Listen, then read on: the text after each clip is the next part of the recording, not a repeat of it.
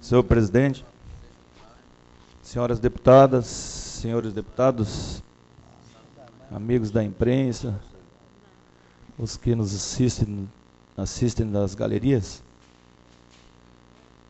O que me traz à tribuna na manhã desta terça-feira, dia 26, vou fazer aqui um breve histórico da história oficial da Polícia Militar do nosso Estado.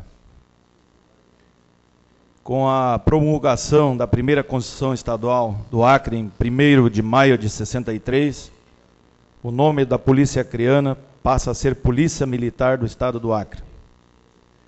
É criada a Polícia Militar do Estado do Acre, instituição permanente destinada à manutenção da ordem interna, sendo sua organização estabelecida em lei, parágrafo único.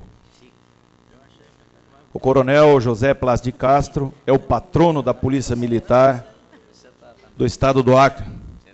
Constituição do Estado do Acre de 1963, artigo 48.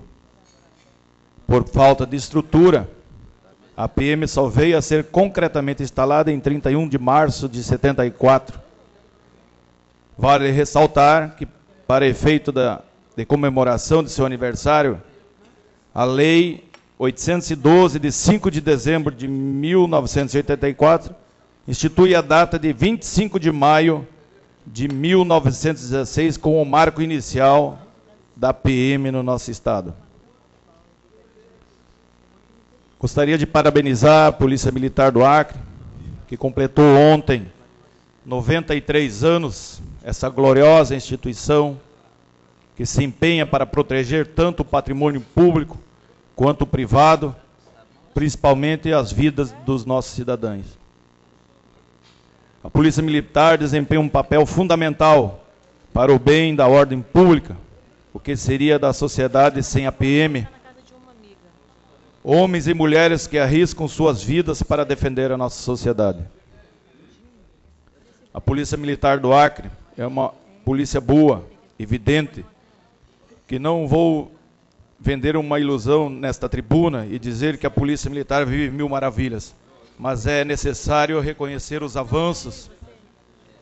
A Polícia Militar do Acre respeita seus princípios constitucionais. Foi uma polícia que conseguiu combater sua banda ruim, vamos dizer assim, podre, compostas por bandidos que usavam a gloriosa farda da PM. O mais importante disso e hoje existe dentro da corporação uma consciência de que o policial é amigo da sociedade. Portanto, esta é uma ressalva que faço publicamente e acredito que a Polícia Militar tem muito a comemorar ainda. Obrigado, senhor presidente.